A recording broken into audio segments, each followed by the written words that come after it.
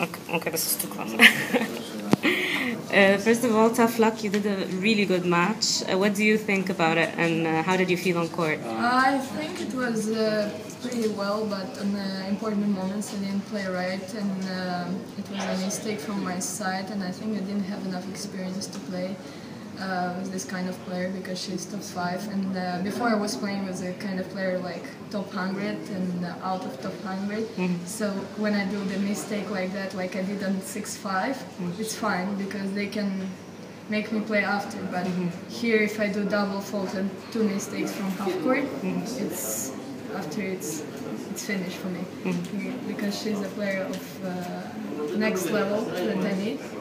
And uh, I think I got a pretty good experience today, Yeah. and uh, this is only the next step in my career. Yeah, you didn't seem nervous at all, and you seemed really up for it. Were you nervous, or Of course, inside I was nervous. Everyone is nervous, but uh, I was trying to handle it uh, till the end. But sometimes I was like, once I hit the racket, and I just was pissed. But after I found again calm and inside to play, uh, well, of course, I can't be uh, nervous really like and show it to her because if I show, she can destroy me.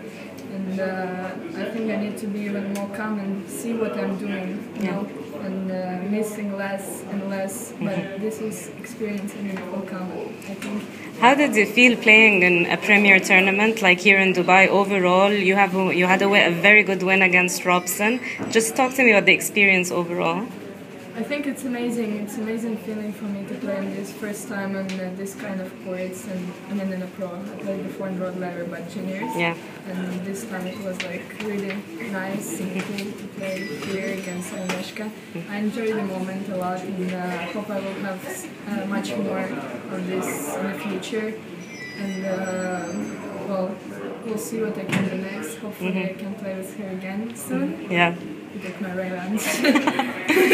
There are lots of uh, people who are saying very good things about you and predicting good things from you. Does that put pressure on you? I mean, Serena yesterday told me that she really believes you're going to be a very good player. Patrick as well said that about you to me. So does that put any pressure on you, or how are you dealing No, with it? that uh, makes me feel better. When the people talking like this, I'm feeling better actually, and uh, I'm trying to work even harder and more to prove it that they are right. Yeah.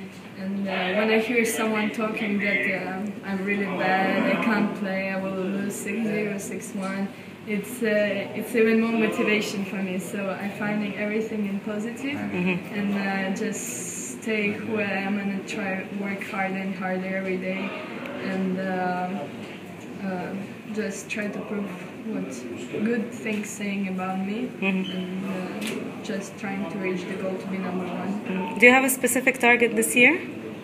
Uh, not really. Every t- every year it's a target to be number one, of course, but uh, it seems impossible. I know, but deep inside I believe in myself that I can do it. Maybe not this year, but maybe next year, and I hope for that. And I'm working for this, uh, and uh, that's my goal and my dream, and I'm, I will do everything that I can to do it. Mhm. You're so passionate and explosive on court. I've seen you many times play. Are you like that off the court? Uh, no, I wouldn't say that. I'm uh, out of the court. I'm more like happy person with everything, just uh, smiling all the time, playing uh, every games, and like to. I like to sing and dance, even though I'm the, the worst singer ever.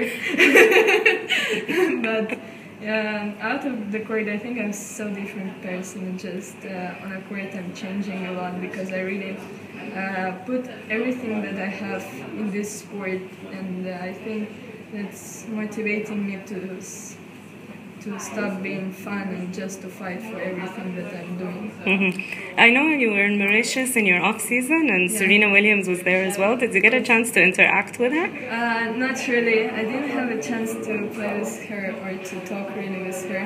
Uh, I'm still shining to speak with this kind of she's a superstar. But uh, I'm getting better with this because uh, Martina Hingis is always with me and um, I'm starting to feeling a little bit one of them and that's uh, also important I think.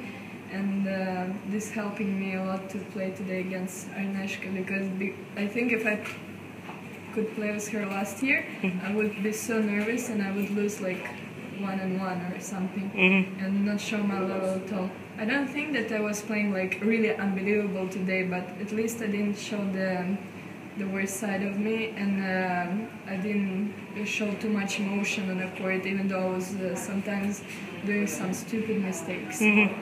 Thank you so much and good luck. You. Thanks. Bye.